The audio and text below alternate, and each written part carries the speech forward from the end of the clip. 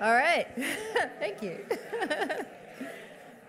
so, um, thank you all so much for being here. It's a great turnout. Um, I'm Susan Faludi with Gender, Sexuality, and Women's Studies. Um, and I, I want to, oh, uh, also I've been asked, in case you didn't notice, there are books for sale um, right outside afterward. Um, yes, and we have a signer, uh, more than a signer. Uh, um, and uh, I want to thank especially the Society of Bowdoin Women, whose Edith Lansing Sills Fund for Exceptional Women uh, made this evening possible. Thank you very much.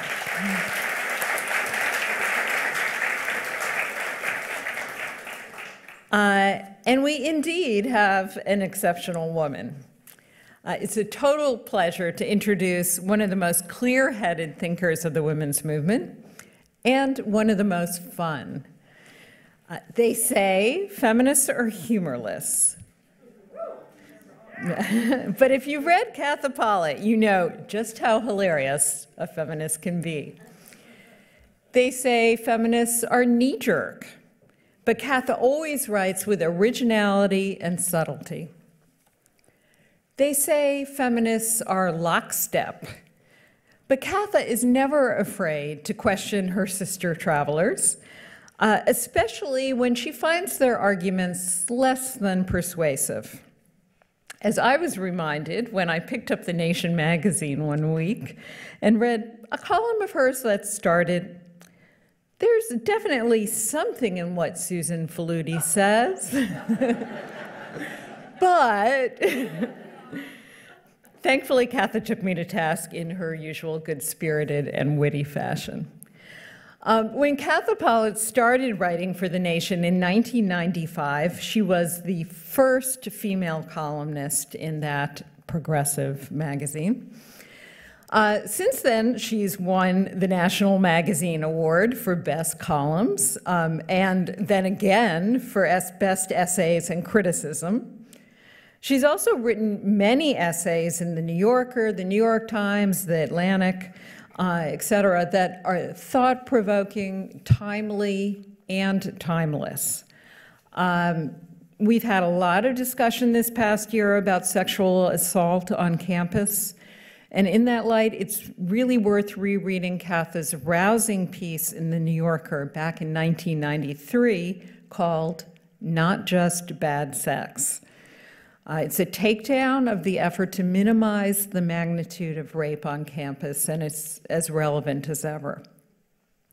Katha Pollitt also writes exquisite poetry. Her poems have been published in The New Yorker and other magazines and anthologized. Her collection, Antarctic Traveller, won the National Book Critics Circle Award for Poetry. And, oh yeah, uh, one of her New Yorker essays, Learning to Drive, has been just made into a major motion picture starring Patricia Clarkson and Ben Kingsley. Uh, Katha wields many literary and polemical powers, but among her greatest are these an ability to cut through a completely stalemated and hashed and re rehashed subject and get us to see it in a wholly new and fresh light.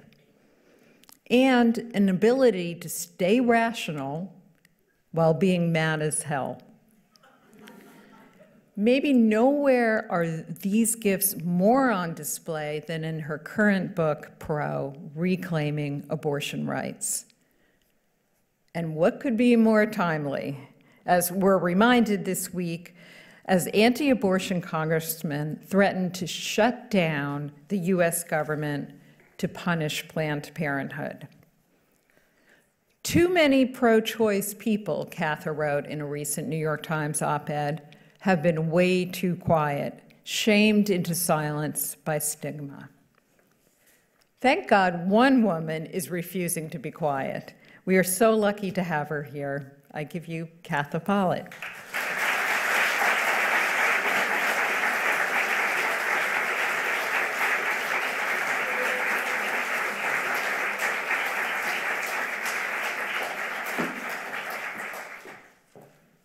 thank you so much for that great introduction, Susan. You said all the things I was going to say, so we can all just go have a glass of wine now. Uh, uh, thank you so much, Society of Bowdoin Women, for bringing me here. I'm really grateful for, the, for you and the long tradition of support for women that you represent. Um, I want to just, uh, one note is that uh, Uma Blanchard and Rachel Barron are starting a chapter of NARAL here at the campus, and you can join up uh, in the back of the back uh, after my talk. Um, so, um, there was something else. Oh, I know what it was. You know, when I give a talk, everybody is totally pro choice in the audience. So if there's, and, and that gets a little boring, I have to tell you. I, I just feel, where is the love from the anti abortion people? They should care. So um, if anyone is here who doesn't agree with anything I say, I would really, it would really be very interesting to hear. Um, and I hope you will, you'll ask a question. Um, and uh, we can, uh, it'll broaden the discussion and, and make it a little more um, interesting. Um, so anyway, my talk is called What? It's the 21st century and we're still fighting for reproductive rights. Um, alas, it is so true. Um, and this is why I wrote this book. People ask me, well, Katha, why did you write this book? Um, I wrote this book because even abortion is one of these topics that everybody thinks there's nothing more to say about. In fact, I've, I've read that in um, debate, uh, you know, campus debating societies will not allow abortion to be the topic because it's called a dead topic. Nothing more to say. Um, but I think that it's precisely with these dead topics that there's often a lot to say, and the reason there isn't, seems to be not a lot to say, is that people aren't um, going beyond the platitudes. Um, so I wrote this book because I thought there was a lot to say. Um, and the book is structured as less a debate between pro choice and anti choice, and more a discussion of what do people think who are in what I call the muddled middle. Now, that doesn't sound very nice to call people the muddled middle. Um, and I took that, um, that euphonious name, phrase, from a writer named Roger Rosenblatt. Um, and uh, if he had returned my phone calls, I would have given him credit, but he never did, so I said, okay, I'm, I'm taking it. It's mine now. Uh, uh, but these people are also sometimes called the mushy middle, which is, I think, even less nice. Um, and what they are, they're people who, which is most people, most people in America who are not uh, aligned firmly with one, one ideological position. Um, they are people who believe, well, okay, we can't make abortion illegal completely because then women will have illegal procedures and there will be injuries and deaths and all like that, um, as there were before Roe v. Wade. That was one of the reasons Roe v. Wade was passed. Um, but you know, abortion, I just don't like it. There's too much of it, and sluts, and um, you know, just people not being responsible. Um, and so these people, which is again most people, um, have a view that they don't quite recognize. Uh, they think they're very principled, but actually, if you look at polls, what you see is um, there is a principle there, but it's maybe not the one they think. So there's uh, Gallup did this sort of compilation of polls where they asked uh, people, um, when do you think it's okay for a woman to have an abortion? And what they found was uh, very little support for the idea that it should be always criminalized the way it is in uh, El Salvador and Chile, uh, although Chile is changing, but you know, completely illegal even to save the life of the woman. Um, that has maybe somewhere between 8% and 17% support. 17% seems like a lot of people who would say, yes, she should die. But anyway, eight is a little better. Because I think in America, you can find eight people who believe anything. there's just any position, there's 8, 8% that believe it. Um, and so, okay, then what if, you know, to preserve her health? Okay. Her physical health, her mental health, okay, okay. Then rape, oh yeah, she gets to have an abortion then. Incest, yeah, oh yeah, we can't have that. Um, what about, you know, severe fetal damage? Um, and that also gets above 50%. But after that, it plunges. So what you have is if you had voluntary sex, you have to have the baby. If you're not going to die or be, you know, if you can get through pregnancy and childbirth okay, you have to have the baby. So this includes I'm too young, have the baby. Um, I don't want to be a single mother, have the baby. I'm too poor, I can't support a child. Mm, you've got to have that baby. Um, I don't want to drop out of school. Oh, sorry, have the baby. All, and the thing that's so fascinating is if you add up all those reasons people approve of abortion for, it's maybe 8% of the actual abortions that women have. Um, I mean, those reasons, which are very serious and, and very um, important to talk about, although I'll have more to say about that in a minute, uh, and there's no question that the uh, anti choice activists would like to criminalize abortion in those very severe, terrible cases. It's still more than 90% of abortions are for the reasons people say, no, no, no, you can't do it. Because women have abortions for social, economic, and personal reasons. Um, and this is the thing that we have to talk about that people don't like to talk about. Um, and you know who doesn't like to talk about it is not just people who are in the muddled middle, it's people who are pro choice. It's our pro choice movement. And that's another reason why I wrote this book. I thought, you know, we've got to get off the dime where, we, where every time Congress proposes some awful new law, the pro-choice movement gets up and says, but what about rape and incest? What about, you know, the life of the mother? These things are very important, but over time, what they do is that they add to the stigma of women who are having abortions for that much more common, regular, ordinary reasons. Um, and what that does is it doesn't, it disempowers those women from speaking up. Um, so I want to throw out some numbers here. Um, I am very far from being a statistician. There are many graphs that I don't know how to read, like the scatter plot one. I just learned I'm, there are a lot of people who don't understand how to read those, uh, and I am one of those people. Um, but I do have some statistics in the book, and, and I want to just go through a few of them because it, it relates very much to all of this, and I think it clarifies a lot of things. Okay, Nearly one in three women will have at least one abortion in her life. 60% of women who have abortions are mothers. Almost 90% of abortions take place in the first 12 weeks of pregnancy. Only 1.5% of abortions take place after the 20th week of pregnancy. 95% of women who choose abortions do not regret their decision either immediately after or three years later. Now, why are these important statistics? These are important because they cut through the stigma and the picture, the stereotype that so many people have of women who have abortions. Who do they think have abortions? Well, sluts, of course.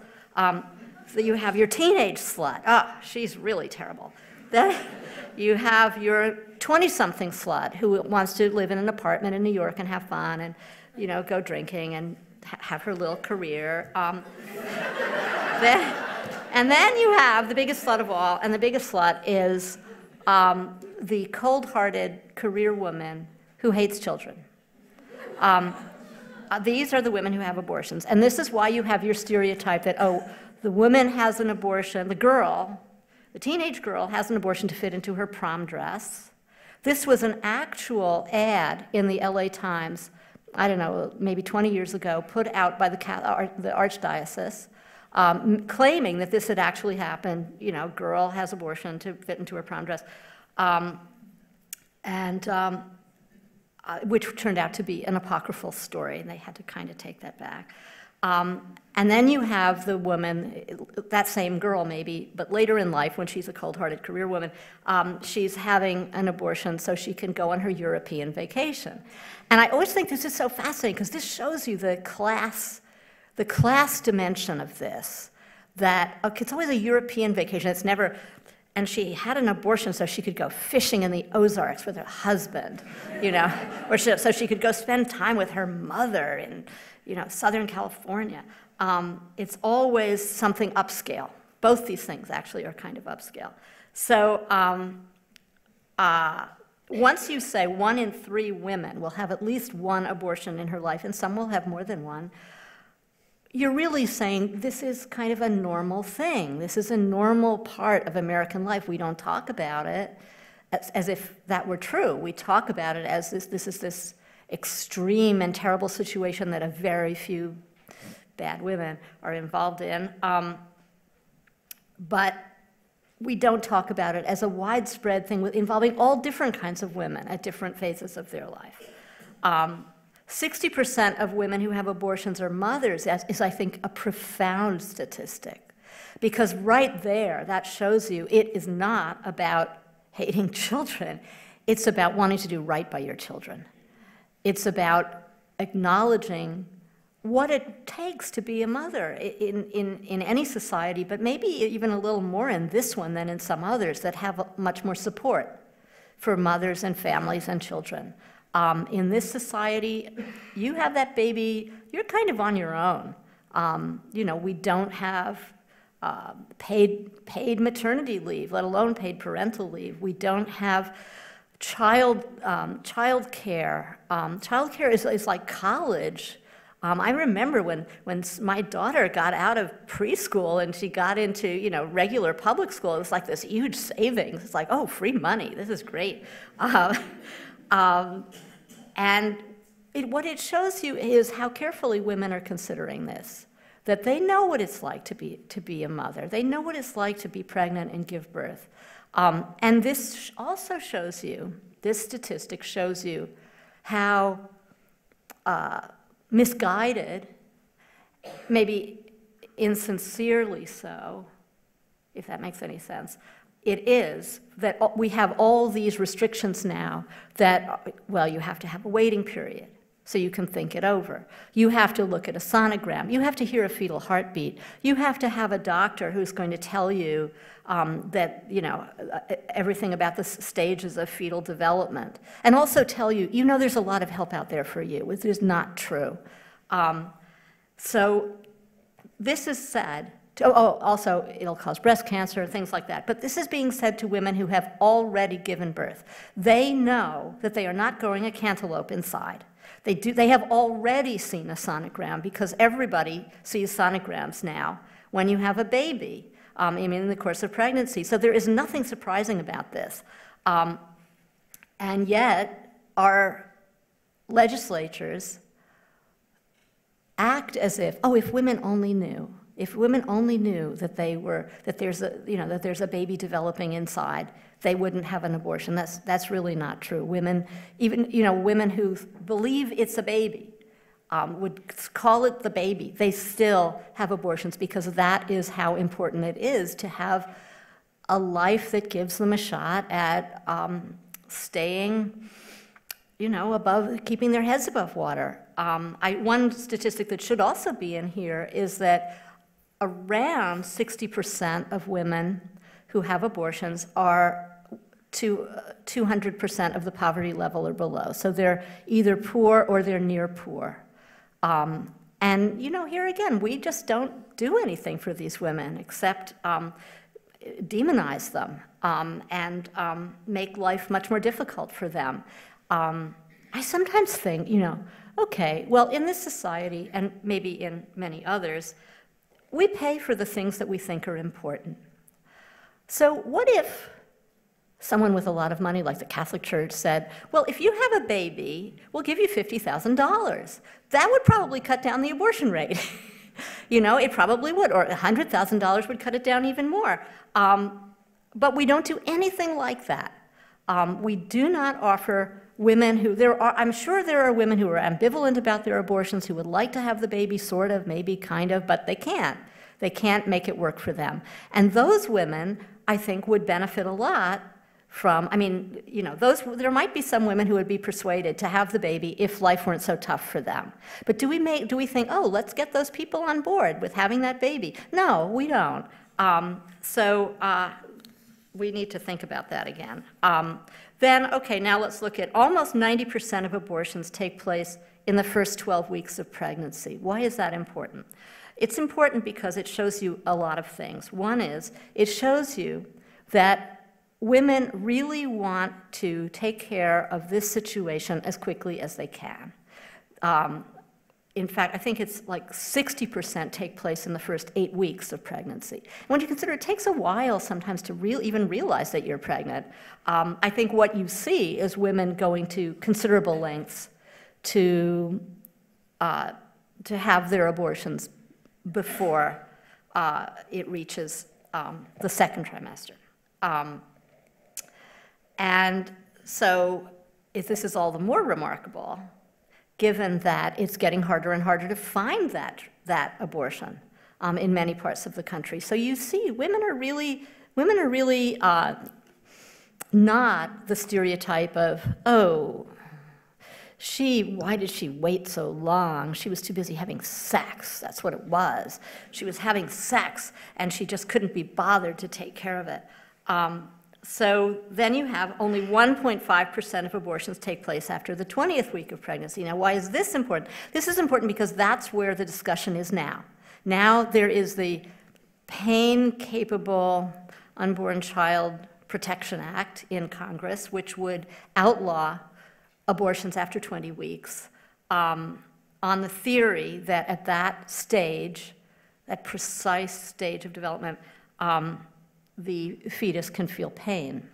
Um, and if you ask, just to be sort of horrid, if you ask, well, okay, well, if the problem is that it feels pain, can't we just give it, you know, an anesthetic first and then kill it?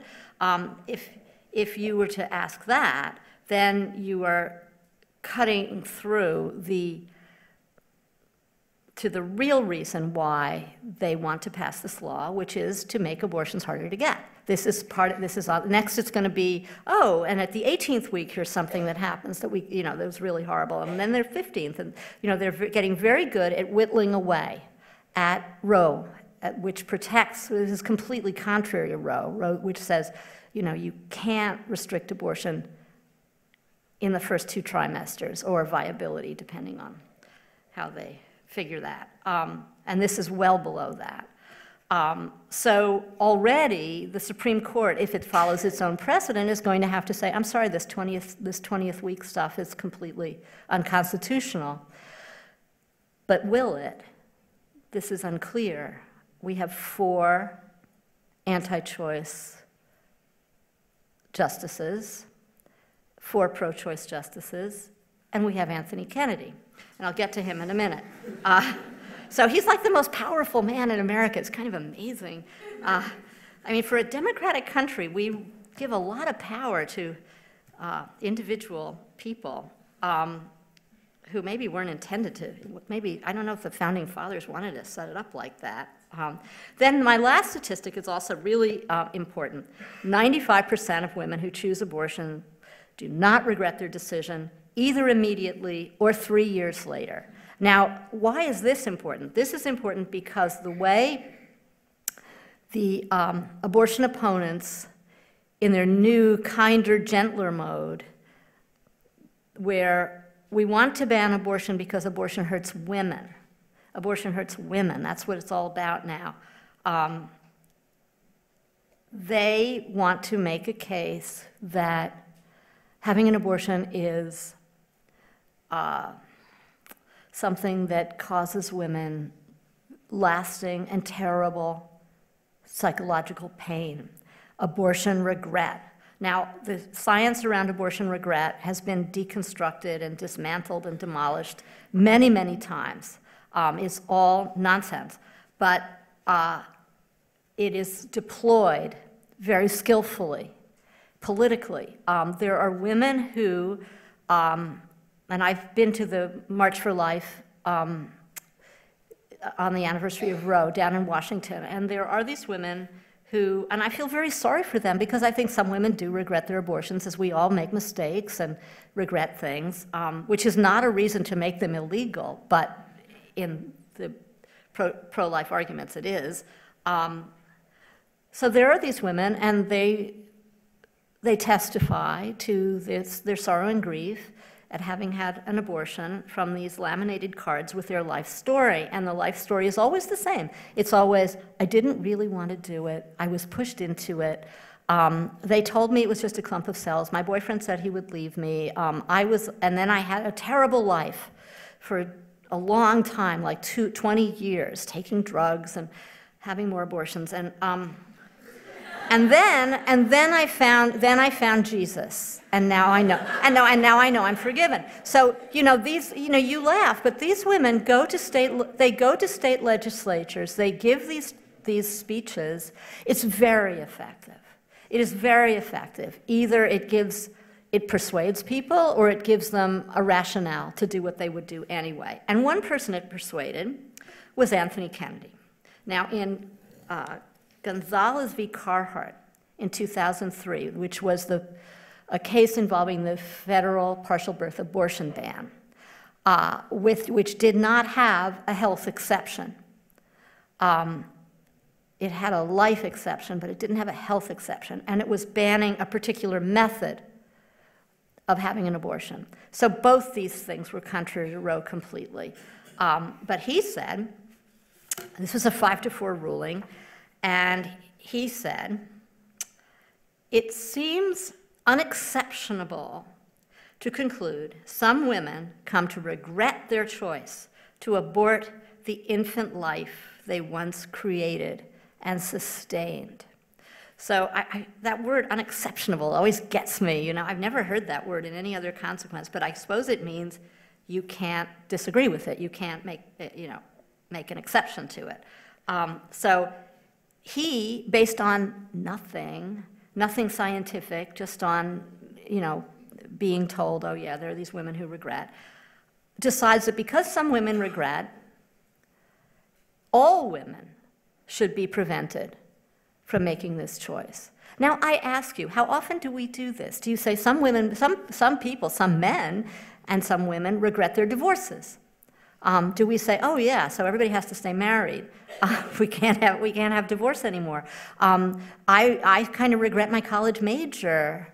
You know, I majored in philosophy, and because I majored in philosophy because my freshman advisor said I should major in English because that was a good field for women, and I said, okay, forget it, I'm majoring in philosophy.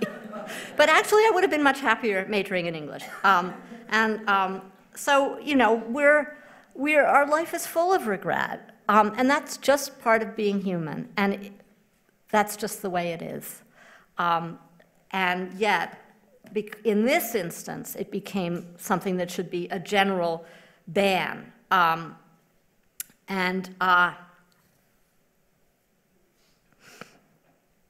I can't tell you how surprised people are as they go around the country talking to learn just these few simple statistics because this kind of fog takes place in people's minds when the subject is abortion, which people don't like to talk about. You're completely right to, you know, people who said, oh, why are you writing about this? Nobody wants to read about this. Um, I said, well, I just want to. I've got to write something. I'm writing about this. Um, but it's true. People don't, they don't like conflict. They don't like controversy. Uh, it's kind of yucky, it's women's bodies, it, involves some blood. They don't like that. Um, and so, in that fog of resistance to thinking about it, the reality escapes. And the reality is look, face it, this is something that a lot of women do. It's part of American life. We could not have the life we have in America today if abortion was illegal, as it was when my mother had an illegal abortion. Um, widespread access to birth control and abortion as, an, as a backup when birth control fails um, is what underwrites the life we have now, where most people, most couples want two children. They don't want five children, they want two children. Um, we're very much against teenage pregnancy. You know, we're always going on about how terrible it is and it's a big scandal. We could say, hey, you want to have a baby when you're 17? Fine. But we don't. We say that's a terrible, terrible mistake. Don't ever do that. Um, well, you know, teenagers, teenagers are teenagers. Um, and we make it very hard for them to get birth control and sex ed with all the abstinence-only sex ed that we're so keen on in many parts of this country. Um, so we make, uh, we have late marriage now. We have uh, late people getting their careers on track before they have kids. Um, we have women who have kids that, and then they've reached the point where they can't support anymore, and then they have abortions. I mean, some people have the abortion first and then the children, and I think poorer women have the children first and then they have abortions, which was the pattern in the 19th century, actually. Um, so, anyway, we don't want to acknowledge that controlling your fertility is one of the most important things a woman has to do. Um, and it's something that is good that women do this. Um, and it's good for society. That, that's the sort of shocking you know, point of my book, is it's good for society that abortion be legal because it lets women be educated, work, be mothers when they're in a good position to take care of those children well. And it's good for men. It's good for men because it isn't so great for men to feel so disconnected from children that they happen to father at a time in their life when they're not ready to be a father. Um, it's very good that people think about these things in a common, rational, planned way. I know that, that sounds so unromantic, but I really believe that. This is a very serious decision, having children. Um, and it's good for children to be born when their parents are able to um, give them the things that kids need in a modern society. We don't live on a farm where you start working when you're five. Um, you know, in the 19th century, you sent the kids into the factory when they were five, but in our society, you send them to school, and it's very expensive until they, you know, it's like what, a quarter of a million dollars till a child is 18? Um, uh, so it's very important in a modern industrial society that values education and all like that, that children be born at a good point in their parents' lives.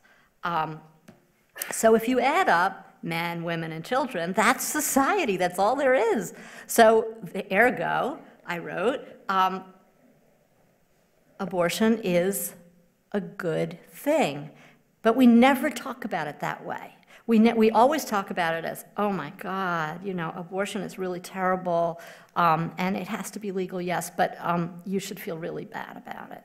And that's where the stigma comes in, that is such an important part of this whole um, political cloud that swirls around abortion is that if, if you have an abortion, it's very hard for you to talk about it to other people. There's a great silence about it. And that means that the women who don't have an abortion because they, they're much wanted and loved pregnancy has really gotten into terrible trouble. And you read those, those op-eds all the time, you know, where women, now that's coming out because with the 20-week ban proposed, women are more and more saying, look, this is what happened to me in week 21. It was really, you know, the, the baby had no brain. What was I, what was I going to do? Um, but you don't hear so much from women who have abortions for the reason that the 92% have them. Um, you know, that even to say, I didn't want to be a single mother, that's the truth. Um, you don't hear, and a lot of women feel that way, you don't hear that so much.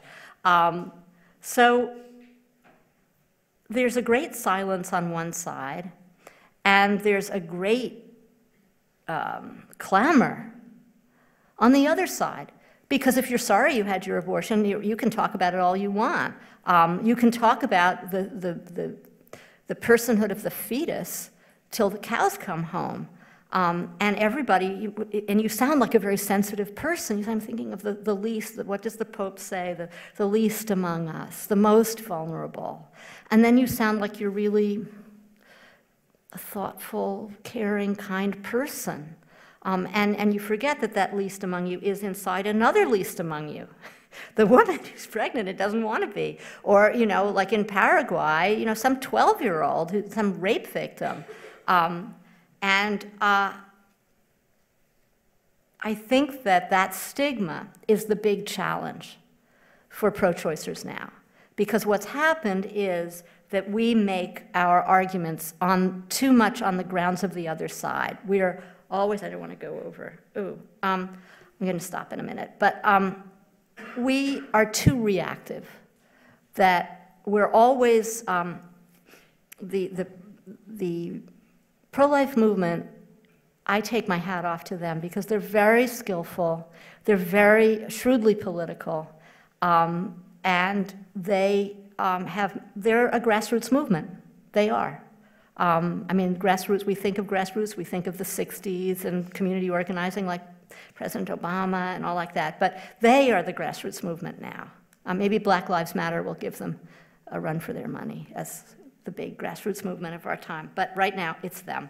Um, and they are enabled to do that because our side doesn't put forward a vision. Our side puts forward much more limited arguments intended to counter their arguments. Rape and always talking about rape and incest is one. Um, another is when we say safe, legal, and rare. Safe, legal, and rare drives me crazy because it puts the accent completely in the wrong place. It says, um, what's important is the number of abortions that there are, and you know there are too many. But it doesn't say well, what does that mean? It, does, it doesn't necessarily mean, yeah, so let's just have a lot of birth control. that would be good. Um, it means we have to get women not to have the abortions that they want. Um, it would be much better to say safe, legal, and available, safe, legal, and accessible. But we've said safe, legal, and rare because to counter the idea that, oh, there's just all, it's all abortion all the time in the United States. No, no, it should be safe, legal, and rare. Um, so we're playing on their, their turf. Um, and um, uh, there's another thing we always say, but it's just gone out of my head, I'm sorry. Um, but I think that uh, I just want to end on a note of hope, which is I do think um, that the pro choice movement is um, is accepting that they've been too reactive. And I think that uh, although young feminists come in for a tremendous amount of abuse, um, they are really doing a wonderful, wonderful job of deconstructing stigma. And so you have things like um, there's an organization called Sea Change, which gets women together, which is a young feminist organization that made a, an anthology of um, stories about reproductive life that's very um, intersectional, very multicultural, multi-ethnic, um, all different kinds of situations. And it gets women together like a book club to, to talk about that and finds that once you get women talking about this, they start saying, well, you know, I had an abortion. And then another one says, well, I had two abortions. Um, and I think that's really important, really, really important. Um, there's also um, a lot of internet stuff. There's a group called One in Three where people post their abortion stories. There was a woman named Emily Letts who um, shocked the world by um, videoing her abortion and putting it up on YouTube. And although that does sound kind of gross, um, I thought it was really great because what you see is look, the clinic is clean. Uh, look, um, I'm not in, in pain um, look, this is taking five minutes. It's just not what you think. Because along with the many wrong ideas people have ab about abortions is the idea that it's always it's always dangerous. It's all, the clinic is dirty. They're just out to get your money. That's what this Planned Parenthood thing is all, all relies on, this pre-existing stereotype of what an abortion clinic is and does. So that it's very easy to segue into, oh yeah, they're selling fetal body parts to make, you know, bundles of money, because that stereotype of the evil, money-grubbing, uh, abortion, cold-hearted, horrible abortionist is very deep in American culture from when it was illegal. Um, so anyway, I, I do feel that we're, you know, that, that, that pro is part, it's not all out there by itself. It's, it's part of the new way of trying to talk about abortion um, in a more, a less shamed, more open, more positive way. And I'll just leave you with one story, which is um, uh, my book um, had its uh, launch at the Minnesota Book Fair last year. And, um, and I gave my talk and all like that. And then afterwards, the woman who had invited me um, said, you know, and she was a middle aged literary kind of woman.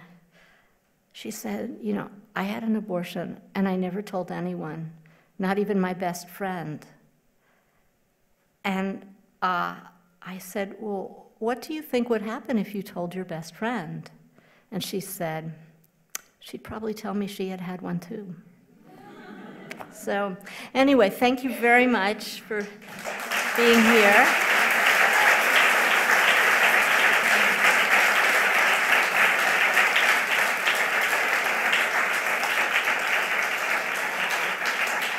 And um, I'd love to have your questions. And there are people going who have microphones, so you can just wave your hand and they'll come to you.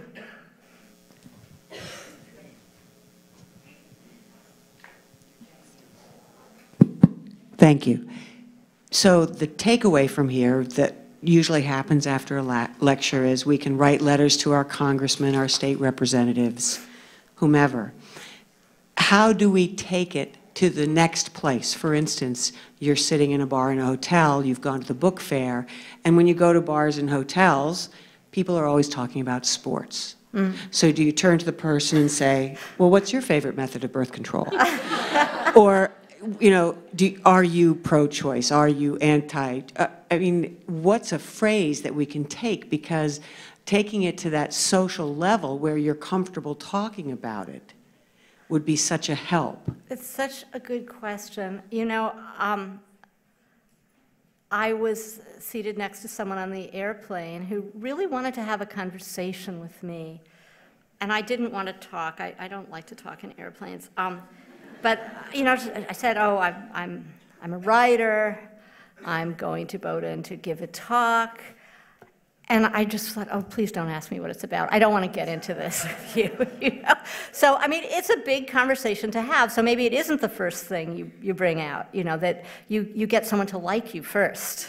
Uh, I think that's always a good plan.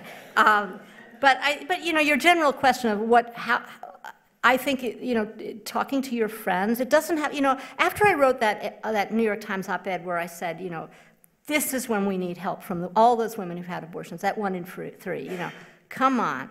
Um, you, privacy is privacy, but this is a very serious situation. You need to, you need to get active here. And some people interpreted that as you have to come out publicly that you've had an abortion. And I got some pushback on that, but really I wasn't quite saying that. I mean, I, I got letters from people who said, you know, oh, Kathy, you're so right, I want to, but my mother-in-law is completely anti, she's a fundamentalist Christian, and that would be the end of my life in the family. Um, I can't do that. Another person said, I'm not sure I could keep my job if I did that.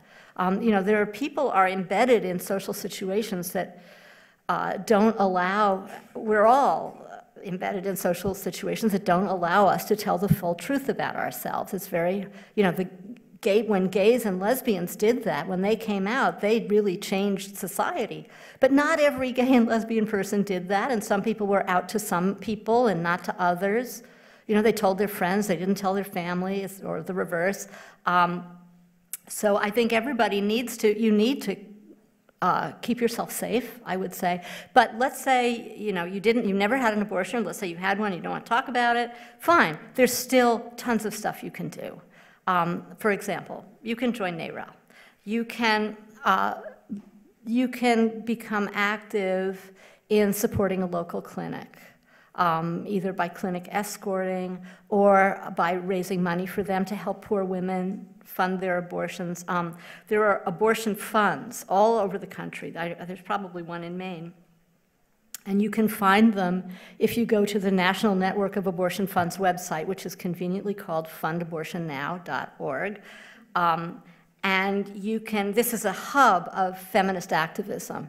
Um, and it's very intersectional. It's very, um, it's really a wonderful thing to do. You're helping, you're helping a real person. Um, it's not where you send your money to, you know, UNICEF and wonder how much of it actually reaches poor children. Um, uh, these are voluntary, mostly volunteer organizations, and you know, 95% of your dollar will go to help some actual poor women women get an abortion. So that's really important. And I think writing to your congressman, that's good. Um, calling up radio, you know, if you're listening to the radio and someone says something, you can, you know, a lot of these things you can call up, you can get into a conversation. Um, I think once you get into the framework that, okay, I'm really going to take a little, get a little energetic about this. You'll see that there's a lot you can do. Um, and um, I think I should write a column, though, and give a big list of things. Because whenever this question is asked, I'm, i always feel like I'm forgetting things. I'm forgetting things. It has to be more than this.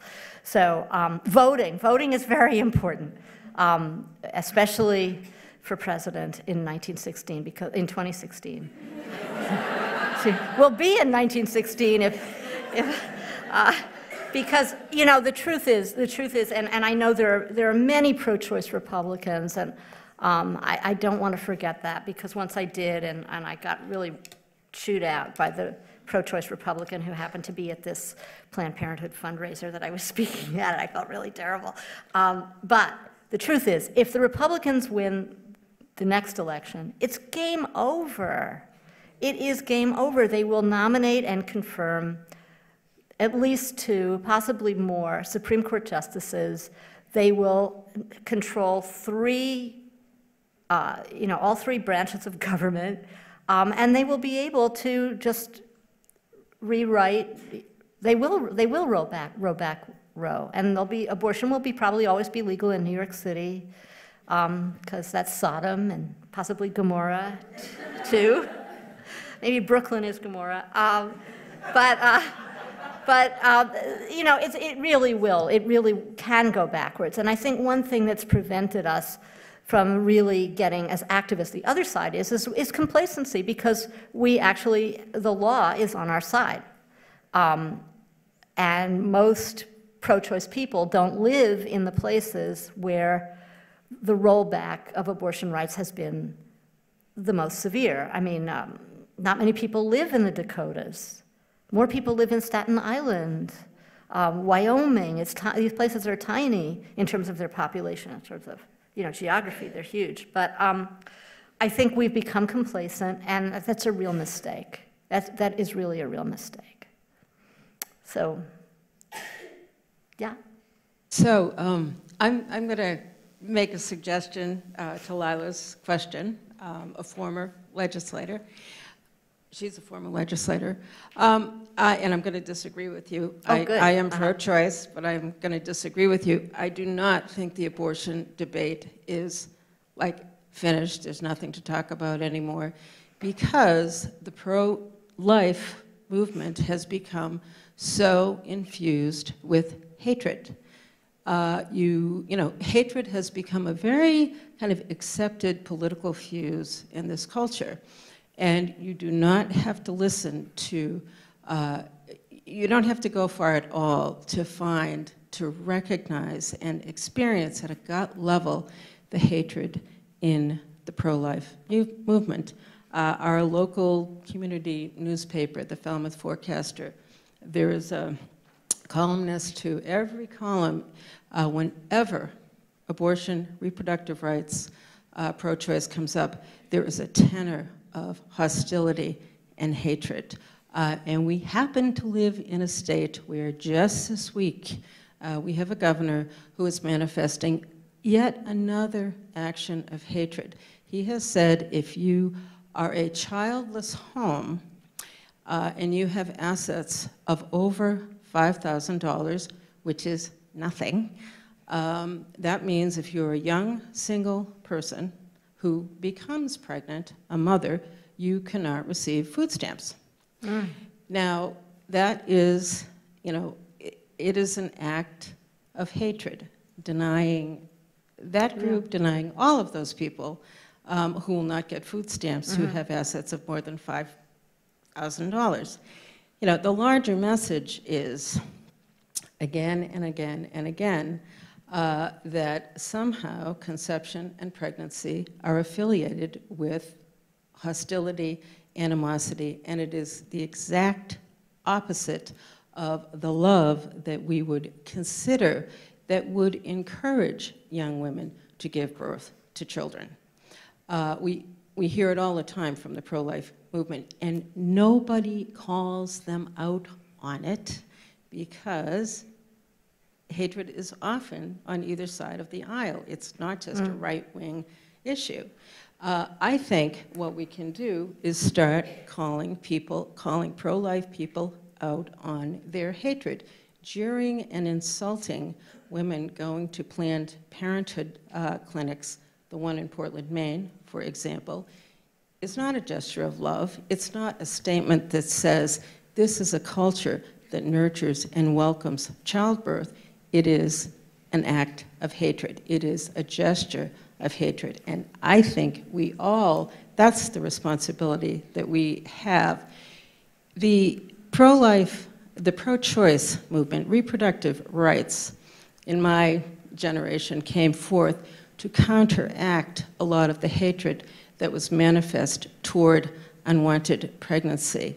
Uh, you folks, many of you, do not remember uh, the you know, physical abuse, uh, the abandonment, uh, the you know, sequestering you know, during the duration of the pregnancy anonymously uh, while a woman gave birth. Joni Mitchell, for example, is somebody who was sequestered to give birth uh, to a child who was then Yeah. adopted. Yeah. There's, you know, the reproductive rights were an effort to counteract Right, the right. hatred of that. Yeah. So that's something we can do. Okay, well, um, that's all really um, very well said. Um, I think there is a, a side of it that is that is full of hatred. I mean, I think when you you know you've got people, you know, uh, arson, murder, um, uh, hatred. That is hatred, um, and and some of the clinic protesters are really horrible. And you know, another thing that uh, I believe it was Anthony Kennedy also the kindly grandma. You know, trying to getting rid of the um, the protective space that. Um, the buffer zones, thank you for that word. Um, the, getting rid of the buffer zones or making them smaller, and it was all about, oh, these kindly grandmas who just want to give you some, give you some counseling. But a lot of them aren't so nice. Um, I do think, though, that uh, it's a good tactic sometimes to just give the people you disagree with to uh, a sense that, you know, they're not totally evil, because not all of them are. I mean, there are anti-choice people who take, uh, take um, pregnant women into their homes. Um, they're, they try, they try to help. But the thing is, uh, charity, the important thing is charity cannot solve the problem of poverty. Um, I have upcoming, coming up in um, the Nation, I guess it's out today, uh, is my ongoing debate with Ross Douthat, uh, the conservative um, anti-choice columnist for the New York Times. Um, so I did a column where I asked these open-ended questions to uh, pro-lifers, um, where I tried so, I, I, I actually worked really hard not to be snarky, not to be sarcastic and mean, and, you know, all like that. Just open-ended. I really want to know what you think. Um, so finally, he answers at tremendous length, uh, which is really unfair because I don't have all the, you know, I don't have as much space as he does in his blog. Um, but anyway, uh, so he says, he says, you know, well, I think pro-choicers, uh, in the section about poverty, um, he thinks um, pro-choicers don't give anti-abortion people enough credit for all the wonderful charity they do. And I, I said, well, you know, maybe so. But the fact is, poverty is all around us. and women and children are suffering greatly. Pro- charity cannot solve this problem. So his idea of how to solve the problem, and you know, here you realize you're just, it's like you're talking to someone who just doesn't know about life. His idea is we need tax credits. We need child tax credits or an in, bigger earned income tax credit. Now, the earned income tax credit is a great thing. It was it lifted a lot of people out of poverty. But in order to get a tax credit, you have to have a job. Um, and people who are working, who are, you know, these uh, mothers overburdened with children are not in a good position to work enough so that these tax credits would mean anything to them. Um, so, but anything else, and here I'm kind of agreeing with you a little bit, I, I just don't want to think of its cruelty. I think it's just some kind of, we don't really want more poor people. I think that's sort of it. That's what LePage, maybe what, he, what he's saying, is if you're really, if you have this amount of money, which is really nothing, then you shouldn't be having children. Um, and I just think that's the wrong way to go. It's not in the spirit of letting people flourish. We should let everybody flourish. If somebody wants to have a baby, they should be able to have a baby, and we should take care of them and take care of the baby, and maybe that baby will grow up and be a wonderful, you know, contribution to society. Um, and it'll all be great. They're just interested in forcing you to have a baby. Uh, that's the problem. Um, like when they talk about, um, okay, here's a thing that is often said is like, oh, what if a woman had an abortion and she'd had five children already and uh, her husband, you know, she was mentally ill and her husband was a big drunkard and they had no money and she had an abortion? Oh, you just aborted Beethoven. And, well, okay, but maybe Hitler, you know? I mean, you never know. You never know how they're going to turn out. And so I wrote about this in the book, and I said, yeah, but okay, so it might have been, Beethoven's life was actually not like, uh, his family was not like that at all. Um, but uh, I said, well, what if it was, what if you, she'd kept Beethoven, but she got rid of some of his brothers who were really a, a big trial to him in his life. They were really worthless. Uh, and so the point is, that there, the, there's an interest in forcing people to have children, but there isn't an interest in helping children, helping mothers and children, so that when these kids are here, they, they get to develop and into, uh, you know, full contributing members of society. Um, and I don't know why this is so complicated. Other countries have income transfer programs that really affect the levels of poverty, especially child poverty. Um, where if you didn't have those programs, you'd have a lot of poverty, and once you have them, there's very little poverty among children. But the United States has, I think, the highest rate of child poverty in the industrialized West. It's really a scandal, and I would love it if anti-choice people, this is something I think we probably could all work together on. I would love it if anti-choice people said, you know, that's really a problem, and it would help not just help the kids that everybody wants to be born, that mother wants to have, father wants to have, but the ones that we intend to force into being. Um, so let's work on child poverty. That would be really great, but I don't see very much of that happening. Yeah.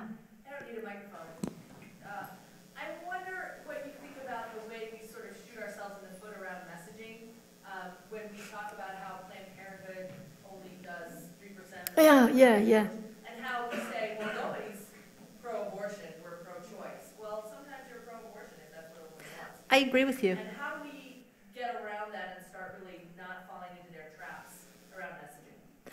I think that we have to start from a different place. I think your, your examples are very good. Um, uh, we have to start from a different place, and the place is saying, look, abortion is part of our society. Sometimes it is, well, I would say it is always the right solution if a woman doesn't want to have a baby. Um, the important thing is that the people who are here are wanted and well cared for. And that is not consistent with forcing women to have children. Um, I felt bad when it, in that Komen, that whole, remember that whole thing with the Susan Komen Foundation, uh, when they were trying to take those grants away from Planned Parenthood. The, the, the, Planned Parenthood, their big thing was, oh, but, you know, only 3% of what we do is abortion. And I think, you know, it's great to remind the world, it's very important now, especially to remind the world that Planned Parenthood also provides, uh, you know, basic health care and birth control and STD um, uh, cures, med- medication for uh, one in five women in America who has visited a clinic. That's kind of amazing. Um, but uh, it's why couldn't they just say, yeah, we do all this great stuff that you're forgetting? And you know, we also provide abortions and we're proud to offer that service to American women. I think they could have said that. Um, and although some people say, hey, Katha, you know, it kind of worked what they did. so they did get the grants back, and, you know, all those anti choice people had to leave the Komen Foundation because they were so exposed. Um, but I think in general, we have to stop the reactive messaging. And the reactive messaging is partly a response to the fact, the unfortunate fact, that the, uh, that the other side is so energetic, they're so clever, they're always doing, you know, they're coming at you from every, from all different directions in every state. Um, and whereas, you know, Planned Parenthood is basically a healthcare organization. They are not primarily um, you know, a, um, a political organization. They're there to provide medical care for people, and this has been a big learning curve for them. I mean, there was, they had a big discussion, I learned, about whether they should even have a, a PAC to raise money for candidates, and that some people felt that was really contrary to the spirit of what, of what Planned Parenthood does, and eventually they, those people um, lost, you know, were persuaded.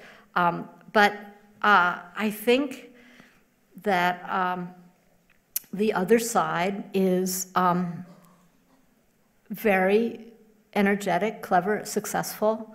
Um, they're very well funded, and they have lots of ground troops, lots of people who agree with them. Um, or agree with them enough. See, that's the thing, getting back to the muddled middle, just to say one more thing about them. Even though there are very few people that actually sign on to the whole anti abortion, um, you know, list, uh, the full the full Monty of you know let's make it a crime, let's put doctors in prison. Um, there are a lot of people who can be persuaded by by a piece of it. For example, um, the 20-week abortion ban. Well, really. Uh, I have a friend who said this, although now she denies ever having said it, but she said, Katha, um, five weeks is plenty, five months is plenty of time to get an abortion. Um, I, I really just think this is horrible. And her picture was, you know, the woman is just not paying attention. And then, oh my goodness, it's 21 weeks. Um, and I'm thinking, well, let's say there is a woman like that. should we force her to have a child? Um, maybe she's the one who most should have the abortion that she wants. Uh, but uh, um, there is uh, there are enough people that, you know, they don't like to think of, that's really pregnant. I remember what it was like to be five months pregnant. That is very pregnant. Um, and I'm always surprised that, you know, uh, one reason women have these late abortions, it's kind of interesting, is they don't realize they were pregnant before. And I must say, although I have been told this and I've read about it and doctors have said yes, I don't get it. I really don't. Um, even though the mother of a friend of mine worked for Planned Parenthood, had had two children, and didn't realize she was pregnant until, you know, she was like 23 weeks pregnant. Um, I don't get that, but I have to just say, okay, but that's my body is not like that. I'm, and someone else's body is like that. Um, so I think that people are easily uh, persuaded to go for the half measure, like, uh, well, shouldn't they think about it a little more? Let's have a let's have a longer waiting period. In Missouri now and North Dakota, is 72, 72 hours. And you might think, that's three days, that's not a big deal. But yeah, but there's only one clinic. and you have to drive there, and then you have to stay there for three days. And you don't have, I mean, it raises the cost of an abortion from like a first trimester abortion from like, you know, $500 to like $1,500. Um, and that places it out of reach of many, many people. And that's the point. That's the thing. Um, there is nothing right now that prevents women from thinking, hmm, I think I'd like to have an abortion, but I think I'll take a little more time to think about it.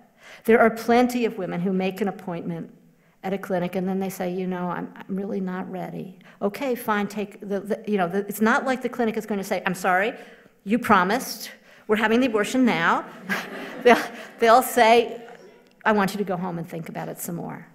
Um, a- an abortion clinic should not be performing abortions on people that don't really, you know, aren't really certain of what they want to do, and a good place will not do that. Um, so, but it's easy to persuade people that these restrictions are not important. It's like the trap laws, you know, that have closed so many clinics in Texas under protect women's health. Well, and, and people don't know anything about medical stuff, so they think, oh yeah, well, shouldn't the doctor have admitting privileges at a hospital nearby?